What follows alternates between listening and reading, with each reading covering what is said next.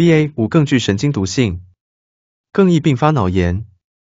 澳洲昆士兰大学与贝格霍菲医学研究所 QIMR b e r k h o f f e r Medical Research Institute 的最新研究提出不同于之前的论点，点出 Omicron 的 BA 五变种病毒可能较 BA 一更具神经毒性，对人类脑部皮层组织及神经细胞伤害大。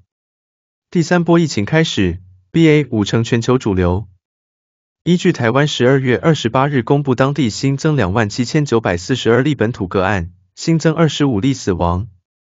确诊数较前周增幅百分之四十六点六。专家提醒，以这几天的趋势来看，台湾 Omicron 第三波疫情已经开始，而且上升速度很快。根据十二月二十六日公布台湾新增的三十三例本土 Omicron 亚型变异株确定病例，BA 五就占了二十七例，占上周所有已定序之三十三例约百分之八十四。根据世界卫生组织 WHO。于十二月二十一日，资料指出，全球已发现超过五百四十种 Omicron 次分支变异株及六十种重组变异株。目前 BA 五变异株占比约为百分之六十八点四，是全球主流株。BA 五易引起脑炎，专家持不同意见。该发表于 bioRxiv 资料库的研究摘要指出，近期大部分人认为病毒，包含 BA 一或 BA 五都已进化为致病性较低的病毒，但两病毒株相比，BA 五病毒株都有较强的致病力及神经毒性，脑炎的感染率及死亡率都与原始病毒株类似。香港南华早报指出，BA 五在中国引发了目前世界上最大的感染激增，且症状可能从呼吸系统转变为脑部，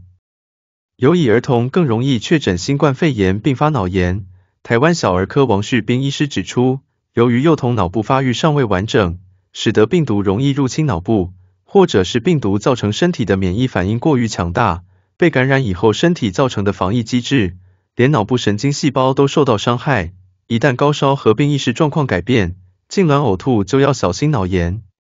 报道中还提到，香港大学病毒学家金东彦表示，BA 五不会比以前的病毒株引起更多的人类大脑异常。对于 BA 五是否有较高机会得到脑炎，还有赖更多研究才能证实。呼吁若出现四十度以上高烧、呕吐、痉挛、意识模糊、精神状态差等疑似脑炎症状，请立即送医院